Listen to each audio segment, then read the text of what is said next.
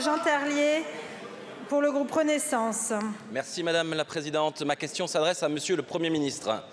Monsieur le Premier ministre, à la suite de l'agression mortelle de Shems Sedine à Viry-Châtillon le 5 avril dernier, vous avez annoncé vouloir engager une réflexion sur la réforme de la justice des mineurs, notamment dans le cadre d'un projet de loi à intervenir avant la fin de l'année.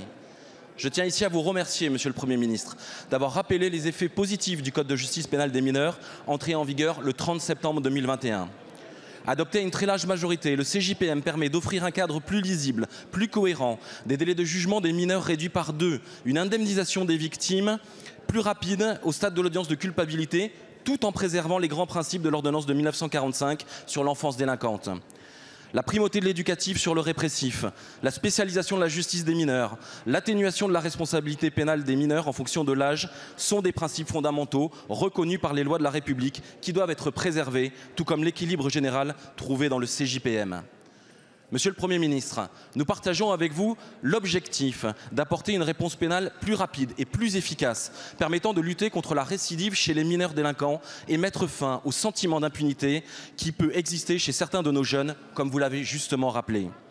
La responsabilisation des parents ainsi que le placement en foyer pour les mineurs délinquants nous semblent être des mesures pertinentes, tant il est fondamental de sortir le plus rapidement possible un mineur de son entourage délinquentiel. La comparution immédiate pour les mineurs délinquants récidivistes doit pouvoir également s'inscrire dans la procédure dite d'audience unique créée par le CJPM qui permet déjà de juger un mineur délinquant dans un délai de 10 jours. Enfin, la réflexion que vous souhaitez également engager sur l'atténuation de la responsabilité pénale du mineur devra également s'inscrire dans l'analyse des conditions de levée de l'excuse de minorité qui sont déjà possibles pour les mineurs de plus de 16 ans. Aussi, Monsieur le Premier ministre, pouvez-vous rappeler, pouvez rappeler à la représentation nationale le calendrier des concertations sur la justice des mineurs, ainsi que la date envisagée pour le dépôt d'un projet de loi? Je vous remercie. Je vous remercie, Monsieur le député. La parole est à Monsieur le Premier ministre. Merci Madame la Présidente, Mesdames et Messieurs les députés, Monsieur le député Jean Terlier, vous l'avez dit, il y a des faits qui nous interpellent toutes et tous. Ces faits, c'est le glissement d'une partie de notre jeunesse qui se joue de nos règles et qui défie l'autorité. C'est le glissement d'une partie de notre jeunesse pour qui euh, la violence semble se banaliser et tombe dans la délinquance de plus en plus jeune. Les chiffres parlent d'eux-mêmes. Les 13-17 ans, c'est un Français sur 20. Mais c'est un mis en cause sur 10 pour les coups et blessures. Un sur 5 pour le trafic de drogue. Un sur 3 pour le vol avec armes. Alors, monsieur le député, vous avez raison, il faut frapper euh, un grand coup pour éviter qu'une partie de notre jeunesse ne sombre et c'est pourquoi à Viry-Châtillou, j'ai appelé à un sursaut.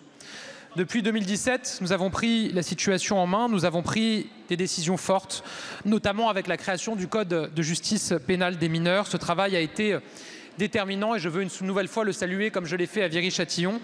Vous étiez alors le rapporteur de ce projet de loi et sous l'autorité du président de la République, grâce à vous, grâce à la majorité présidentielle, cette réforme a permis de raccourcir les délais de jugement, d'améliorer la prise en compte de la victime et de renforcer l'efficacité du travail éducatif avec le mineur.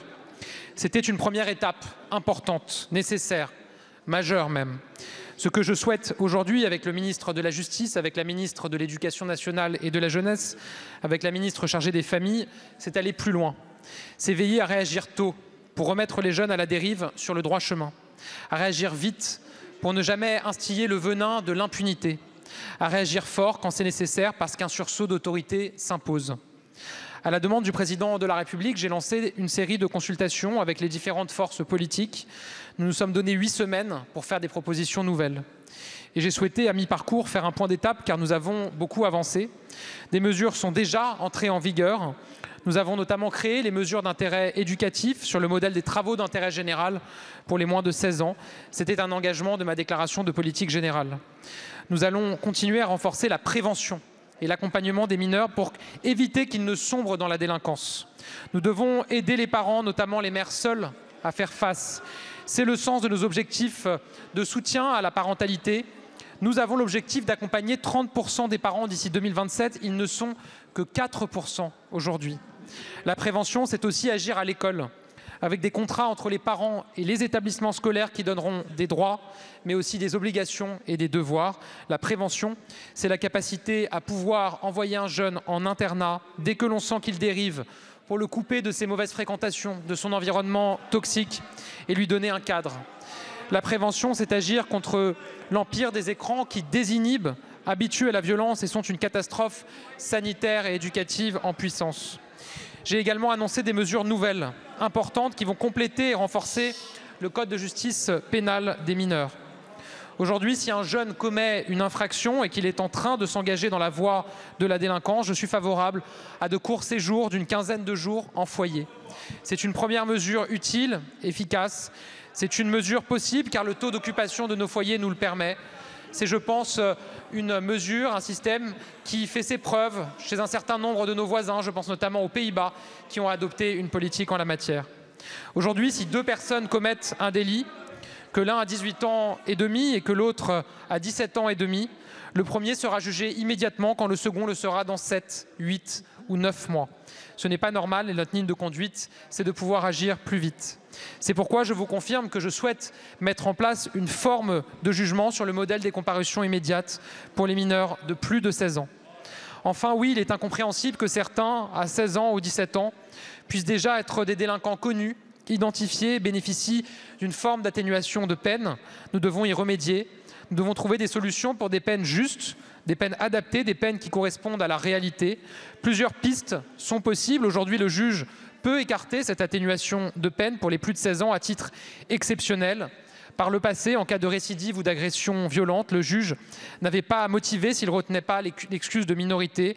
Et dans le cas d'une double récidive, il fallait même qu'il motive sa décision pour retenir l'excuse de minorité. Vous le voyez, des solutions existent dans le plein respect de la Constitution. Nous nous sommes donné huit semaines pour concerter, nous sommes à mi-chemin. Le travail continue avec les ministres, avec les responsables politiques, avec tous les parlementaires engagés. Je sais, monsieur le député, combien vous êtes engagé, combien vous serez vous aussi avec les groupes de la majorité force de proposition. Le travail parlementaire permettra de placer le curseur au bon endroit et nous visons l'adoption d'un projet de loi d'ici à la fin de l'année. Monsieur le député, ce sursaut d'autorité est nécessaire. Nous avons besoin de chacun. Merci beaucoup, monsieur le Premier ministre.